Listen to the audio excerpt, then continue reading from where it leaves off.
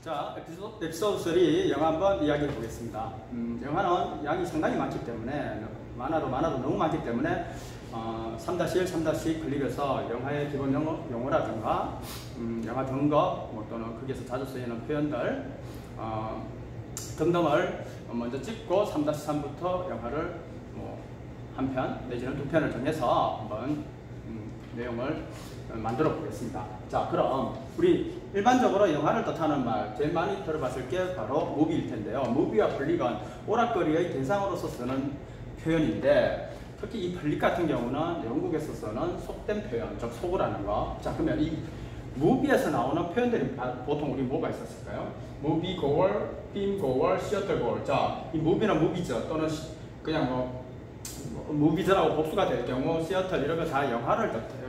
영화관을 뜻하죠. 그러니까 영화관을 가는 자주 가는 사람. 이게 의미가 좀 더 나아가면 어떻게 될까요? 영화광이 되죠. 그게 바로 movie buff, movie maniac인데 이 maniac이라는 단어를 한번 잘 보십시오. 이 maniac이라는 단어는 우리가 흔히 아는 요거의 형용사형을 즉 mania라는 단어를 어디에 푹 빠져 있는 사람이라는 뜻으로 명사형처럼 쓰는데 실제로는 그런 게 아니라 정확히는 요 매니아가 써야 된다는 거. 자, 그 다음 빔 이러면 뭐가 생각납니까? 빔. 어, 빔은 정확히 전문 용어, 즉 영화를 배우는 사람들, 영화학 그걸 얘기할 때 빔을 쓰는데 우리가 빔이라는 이 단어를 많이 보게 될 곳이 어디입니까? CF 할때 커머셜 빔. 그다음 어떤 영화 감독이라든가 영화 배우의 어, 상 어, 출연 또는 뭐 만든 작품 목록을 얘기할 때 우리가 뭐, 어떤 표현을 씁니까? 필모그래피라고 하죠. 요 단어가 여기서 볼 수 있다는 거. 자, 그 다음 모션 픽처럼 초창기 영화는 이게 음이 들어가지 가지 않은 무성 영화였는데요. 이 무성 영화를 만들면 있어서 어, 컷 하나하나를 장면 장면을 만들어 이어 붙여서 빨리 돌리면 영화처럼 보였던 거죠. 그래서 어, 모션 픽처라고 하는데 이건 영화 업계에서 영화를 고상하게 부르는 말이고요. 시네마는 음, 예술적 대상으로서의 어, 뭐, 뭐 영화를 지칭할 때 시네마라고 한다는 거. 자, 그러면 우리가 영화를 보러, 보러 가는 시간대에 따라서 영화를 어떻게 부릅니까? Early bird. 이렇게 뭐죠? 조조 할인, matinee 부릅니다. 음, 오후에 뭐 일반 오후 시간대에 상영되는 영화 evening 언제겠습니까? 심야 영화죠. 자, 이 영화를 얘기하면서 찰리 채플린에 대해서 잠깐 얘기해 보면 이 찰리 채플린이라는 분은 영화 배우면서 감독이죠. 어, 실제로 뭐 여러 작품을 많이 남겼는데 이 모던 타임즈라는 영화에 보면 본인이 직접 감독을 했고 주연 배우를 맡았는데 공장 직공으로 나와 나사못을 쪼으면서 이 삶의 애환을 코미디를 섞어서 그려낸 영화가 있다는 거. 근데 이분이 영화 배우고 감독이다 보니까 이 영화 용어를 써서 아주 유명한 명언을 남겼는데 여기 보시면 Life is a tragedy. 삶은 비극이다. When seen in close-up. close-up은 근접 촬영 아닙니까? 가까이서 봤을 때는 삶이 비극이다. But 하지만 comedy. 희극이다. 어떻게? 롱샷. 먼 거리에서 봤을 때는. 우리의 인생을 멀리서 비춰보면 은 아웅다웅 이러면서 잘 살아가는 어, 그런 모습이겠지만 가까이서 보면은 아, 삶에 애환이 있다라는 그런 뜻이겠죠? 자, 그러면 먼저 이제 영화관의 종류에 대해서 한번 얘기해 볼까요? 영화관의 종류? 영화관의 종류는 우리 알다시피 뭐가 있을까요? 어, 실제로 이런 표현을 쓰는데 이게 뭐냐? 저예산 영화라든가 독립영화, 예술 영화를 전문적으로 상영하는 소극장이라는 거 그걸 알트하우스라고 하죠. 자, 일반적으로 시네마는 우리가 흔히 말하는 영화관인데 이거는 유럽에서 많이 쓰는 표현이고요. 미국에서 많이 쓰는 표현은 무비 시어러를 쓰죠. 이게 영화관. 자, 또 드라이버인이라는 건 어떨까요? 여기 뭐죠? 차를 타고 보는 영화관, 즉 옥외 상영관. 뭐좀 우리 우리한테는 좀 생소한 표현이지만 어저널이라는 표현도 있고 패션, 음, 피시라는 표현도 있죠. 자, 그다음 아주 저급한 사우리아 영화관을 가리켜 덤프라고 하는데 덤프는 실제로 큰 쓰레기장 내지는 덤프트럭 뭐 이런 데서 보다시피 뭔가를 버리고 차다 할 때 이 덤프를 쓴다는 거. 자, 그 다음 우리 요거는 어떨까요? 한번 느낌 가보실 텐데 First Run Theater 아, 첫 번째 상영하는 영화관, 즉 개봉관. 자, 그 다음 우리가 흔히 요즘 굉장히 많이 익숙해져 있는 거. 자, 멀티플렉스가 멀티플렉스는 그들의 기준에 의하면 영화관 상영관이 두 개 이상이 있어서 여러 개의 영화를 동시에 상영할 수 있는 거고 이보다 그 규모라든가 이게 개념이 더 확장된 게 뭘까요? Megaplex라고 있죠. 이 megaplex는 상영관이 한 16개 이상이 있는 초거대 영화관을 얘기하는 거죠. 자, 요거는 여러분, 자, 그럼 등급에 대해서 한번 영화가 등급이 나뉘어져 있잖아요. 일반적으로 전체 관람가 G. 자, G는 뭐야? General Audience죠. 전체 관람가라는 거. 자, PG. Parental Guidance Suggested. 이게 줄임말인데, 자, 부모의 관람 지도 요청이 필요하다. 자, 그 다음 PG13 이러면은 이건 뭘까요? 아, Parents Strongly Guidance Under 13. 자, 13세 이하 어린이들은 이 아주 폭력성이 짙고 선정성이 강한 그런 영화에 대해서는 부모님의 강한 지도 요청이 필요하다는 뜻이겠고요. 그 다음 R 이게 바로 restricted 금지됐다 이러면 이제 성인들 단계로 넘어갈 텐데 이거는 17세 기준이 들어갑니다. 17세 이상은 성인의 두뇌가 아무 문제가 없는데 17세 이하 같은 경우는 요 R이라고 분류된 영화는 부모님이나 뭐 성인이 동반했을 경우에는 이 영화를 봐도 괜찮다 이렇게 하시고요. No children under 17 admitted allowed 즉 17세 이하 어린이들은 안 돼. 애들은 가라. 완전 성인 영화를 NC-17이라고 하죠.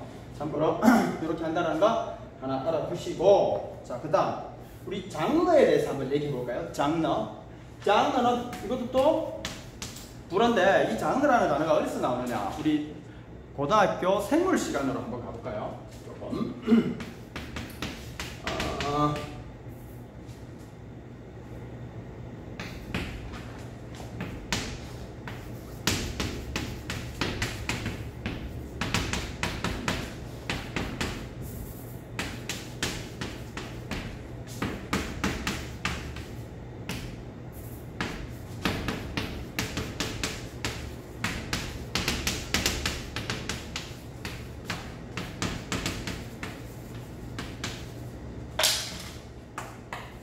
이게 뭐냐?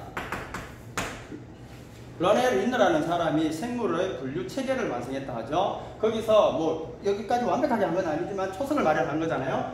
정석, 과목, 강운, 개. 근데 이건 뭐냐? 요즘 새로 뭐 개보다도 더 어, 상위 단계인 상위 단계인 도메인 우리가 흔히 말하는 인터넷과 관련해 가지고 우리 많이 접해봤죠. 이 어, 인터넷상으로는 가상의 영역이지만 이게 여기라고 합니다. 이게 뭐, 감, 뭐 들어가 있다고 하더라고요. 자, 이건 분류 체계입니다. 분류 체계라는 게 뭡니까? 생물의 이, 이, 이, 이, 이 카테고리를 구분 구분해서 나눈다는 뜻이잖아요. 여기에서 지너스에서 나오는 이 장르 분류한다라는 거 여기서 나오고요. 왜 문은 두 개냐?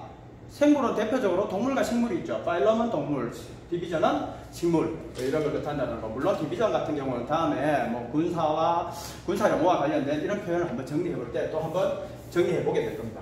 자, 그래 이 장르가 지너스 여기에서 나온다라는 거. 자, 그러면 장르 대표적으로 뭐가 있습니까? 액션 무비가 있죠? 액션은 액터가 뭡니까? 우리가 행위를 하다 거기서 나오는 게 액터, 액트리스가 있죠. 그리고 액터는 뭡니까?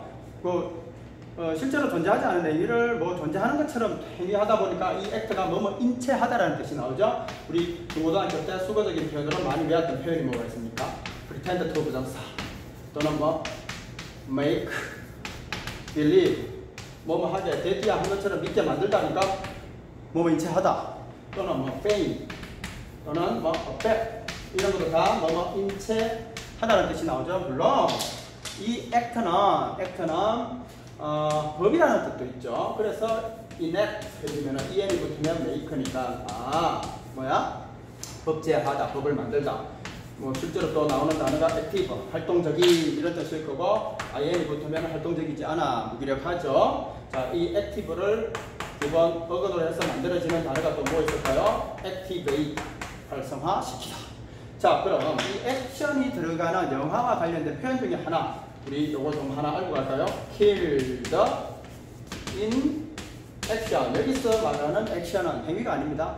행위는 행위죠. 행위는 행위인데 전쟁과 관련한 교전. 총을 주고받고 하는 총싸움을 주고받고 하는 교전인데 교전 중에 사망을 했네 줄여서 대문자로 표현해 보면 아 우리 현대기아 자동차 그 기아가 killed in action 이런 식으로도 해석이 가능하다는 거. 즉 전사자입니다. 전사자. 자, 이건 이렇게 하시고 자, 그다음 음 액션 말고 뭐가 있습니까? 서스펜스 스릴러 할 때 그 서스펜스가 있죠. 이 서스펜스가 뭔가를 매달다라는 뜻인데 흥분이 자, 이 펜이 어, 행 매달다라는 뜻이고 서서는 언덕 아래로라는 뜻이지 않습니까? 아래로 매달다. 그리고 어딘가에 매달려 있으니까 조마조마하고 긴장이 되죠. 그때 우리 조마조마한 긴장되는 이라는 표현 뭐 우리가 흥분되거나 긴장되면 뭘 합니까? 손톱을 물죠. 뜻의 단어가 nail-biter 또는 이 절벽에 매달려 있어. 그러면 어떨까?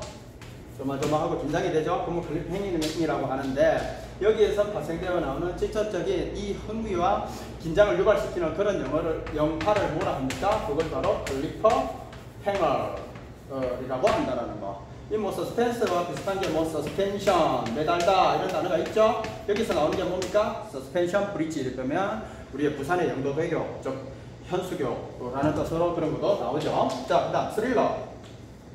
이 스릴러는 살인이나 이 강력 범죄를 주로 다루는 소설이나 책을 얘기하는 게 이게 바로 스릴러죠. 스릴러. 저 유주얼 서스펙이라는 영화가 있지 않습니까? 거기에서 살인과 어, 뭐, 뭐, 뭐 반전 이런 게가 많이 나오죠. 자, 이런 어떤 그, 그 강력 범죄라든가 어, 그 중범죄, 뭐 살인 이런 걸 자주 다루는 그 추리 소설을 정확히 뭐라고 하느냐? 원래는 누가 그랬을까라는 이런 표현에서 나온 건데 이걸 발음을 잘못하다 보니까 it이 됐고요. 이걸 더 줄여버리면 어떻게 됩니까? it 이래가지고 이게 바로 살인을 주로 다룬 뭐 추리소설 이런 걸 보더니 이렇게 표현을 하죠. 뭐 대표적인 게 뭐 셜록 홈즈 시리즈 같은 게 있지 않습니까? 자, 여기에 이렇다라는 거. 그 다음, 우리가 볼 수 있는 게 뭐 공상과학 영화. 그럼 뭡니까? 바로 Science. Science fiction의 줄임말. 그래서 뭐라 합니까? sci-fi라고 하죠. 자, 그 다음 호러 영화라는 게 있죠. 호러 영화. 호러. 호러. 자, 호러가 있고 호러가 비슷한 건 테러가 있는데 테러는 조금 이따 한번 좀 공부를 해봐야 될 것 같습니다. 역사와 관련해가지고 이 호러가 이, 이 떨다, 무섭다 라는 그런 공포 이런 걸 얘기하는데 여기서 나오는 게 호러 뭘 아닙니까? 끔찍한, 무서운, horrific 다 똑같죠? horrendous 이게 다 끔찍한 이런 뜻 아닙니까? 그 다음 horrified 그러면은 무섭게 하다 abhor 자 한번 볼까요? horror 무서운 공포 A, B는 away 떨어져 떨어져 있었는데도 공포를 느껴 정말 싫다라는 거죠. 극혐하다, 극혐을 의미하는 거죠. 자, 그 다음, 테러. 테러는 어디에서 먼저 나왔냐? 여기가 바로 테러리스트라는 이 단어가 먼저 나왔답니다. 저게 이게 언제냐? 자, 1789년부터 시작된 프랑스의 대혁명으로 한번 가볼까요?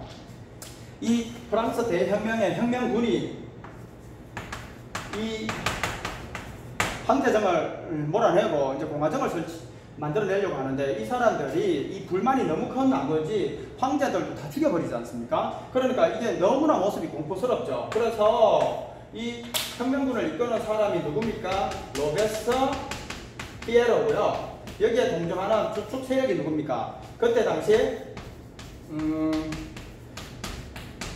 기족 세력들이 입던 짧은 반자, 반바지를 킬로트라고 하는데 산스가 붙으면은 프랑스어로 없다라니까 위다우스 의미니까 아 반바지를 입지 않았어 그러니까 우리 요즘 말하는 7부 내지는 8부 바지를 뜻하는데 이걸 입고 혁명에 동참을 했단 말입니다 그래서 그런 혁명의 주축 세력은 sans-culotte라고 하죠. 이 로베스피에르가 혁명군을 이끄는 이 모습이 너무나 가공스럽고 공포스러워서 그때 당시 미국의 수도, 즉 당연히 워싱턴이죠. 워싱턴의 소식지, 워싱턴 트리뷴. Tribune이 뭐 호민관이니 뭐 알리니 뭐, 뭐, 뭐 호민관, 뭐 호민관제도 아니죠.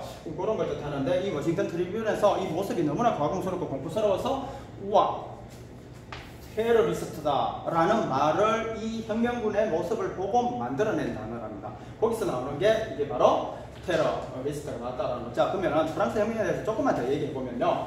이 로베스피에로와 그이 일당 일당들이 일당들이 어 이 프랑스의 이 그때 당시에 왕이 누굴까요? 바로 루이 16세죠. 그 와이프가 누굽니까? 마리 앙투아네트죠. 자, 마리 앙투아네트가 뭐 빵이 없으면 케이크를 먹어라 라고 하는데 그 케이크는 요즘 말하는 그런 케이크는 아니고요. 그때 당시에 프랑스의 국민 과자로 하는 브리오슈를 의미했는데 실제로 이 말은 마리 앙투아네트가 말하기 이전에 여러 인구에 회자되던 말이기 때문에 이 분이 했던 말은 아니랍니다. 자, 이 루이 16세와 마리 앙투아네트를 어디에 세웁니까?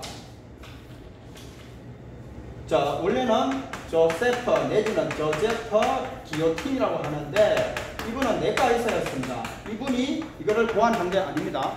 어, 엔지니어 다른 기술자가 고안을 했고 이 기계의 장치의 이 효율성을 검증해봐라 해서 내과에서 아 예 검증을 해보니까 이건 단박에 사람의 목을 댈수 있겠습니다 라고 어, 이 왕에게 보고를 하고 왕이 그러면 이름을 따가지고 붙이자 해가지고 한 게 뭡니까?